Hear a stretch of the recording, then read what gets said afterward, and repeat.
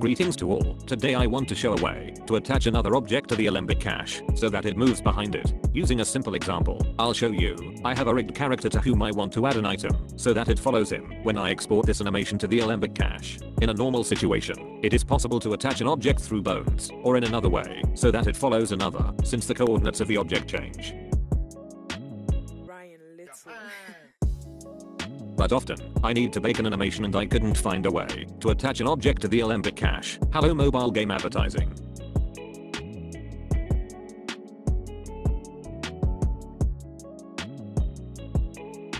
When we receive the Alembic cache to attach an object to it, we select its face of the object that the object will follow, and through the shift we select the object that will follow it.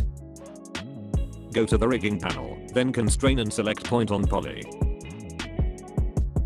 We get the result.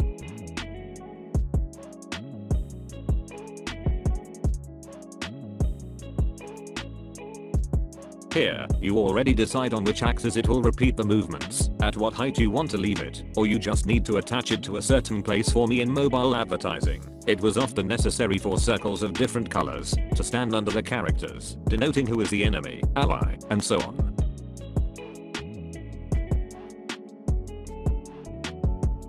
Sometimes it turns out that the object is not in the center, or you want to put it in a different position. To move it in the right direction, select all the faces of the object and put it where you need. And I will show you a problem that you can face. When importing cache alembics and trying to connect an object to it in this way, it turns out that the object does not connect and remains in place.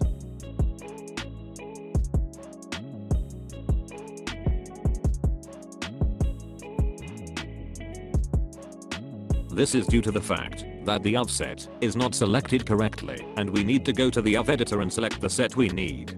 And after that, we'll be fine.